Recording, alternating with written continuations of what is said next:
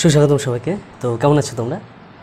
তো দেখো, আজ আমরা এই ভিডিওতে কথা বলব দু হাজার একুশ সাল নাগাদ সারা পৃথিবীর মধ্যে সব থেকে জনবহুল দেশ হবে হচ্ছে ভারত। তো এই টপিক নিয়ে আজকে আমরা ডিটেলসে এই ভিডিওতে কথা বলব। তো চলো তাহলে শুরু করা যাক আজকের ভিডিও তো একটি গবেষণায় সম্প্রতি বলা হয়েছে যে দু হাজার আটচল্লিশ সাল নাগাদ ভারতের জনসংখ্যা হবে একশো ষাট কোটি।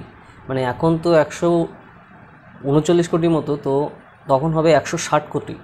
আর দু সাল নাগাদ ভারতের জনসংখ্যা হবে একশো নব্বই কোটি।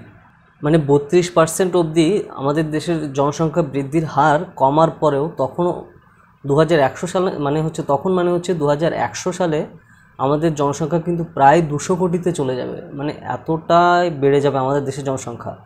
আর সেই দু সালে সারা পৃথিবীর মধ্যে সবথেকে জনবহুল দেশ তো ভারতই থাকবে এবং ঠিক সেই সময় সারা পৃথিবীর জনসংখ্যা হবে হচ্ছে নয়শো কোটি।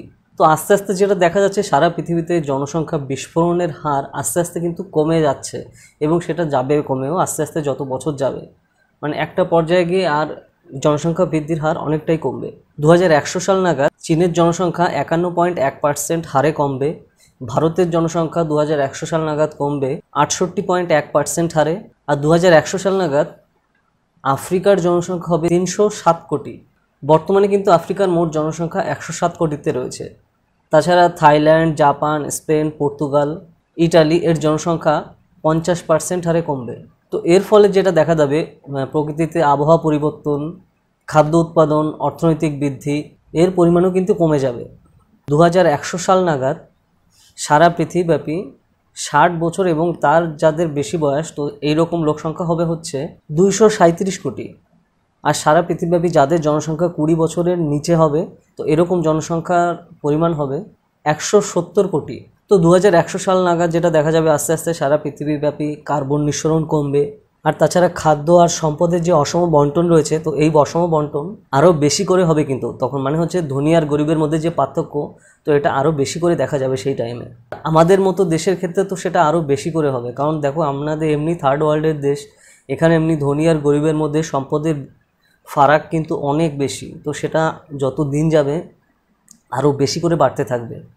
আর দু হাজার একশো সাল নাগাদ সারা পৃথিবীর মধ্যে সবথেকে বেশি কর্মক্ষম ব্যক্তিদের দেশ হবে হচ্ছে ভারত। আর তখন আমাদের দেশে মোট কর্মক্ষম ব্যক্তির সংখ্যা হবে পাঁচশো আটাত্তর মিলিয়ন বা সাতান্ন কোটিরও বেশি লোক।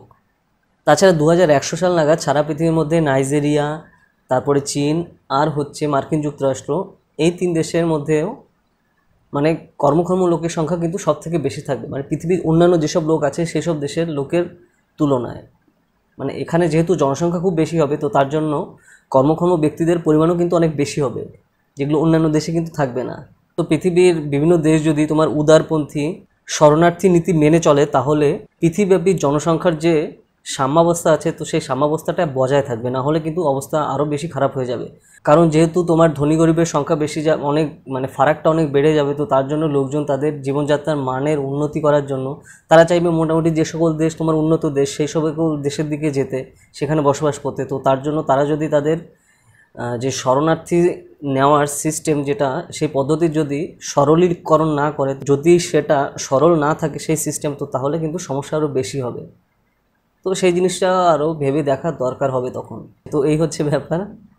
তো দেখো, এই চ্যানেলে একদম পুরো ডিটেলসে UPSC GS paper one two three ফোরের একদম সাবজেক্ট ওয়াইজ চ্যাপ্টার ধরে ধরে ভিডিও করা আছে। আর তাছাড়া অপশনাল পলিটিক্যাল সায়েন্স আর ইন্টারন্যাশনাল রিলেশনশিপেরও একদম ফুল ডিটেলসে ভিডিও করা রয়েছে চ্যানেলে তো তোমরা এই চ্যানেলে প্লেলিস্টে যাও, তো প্লেলিস্টে গিয়ে ভিডিওগুলো সম্পূর্ণ দেখো।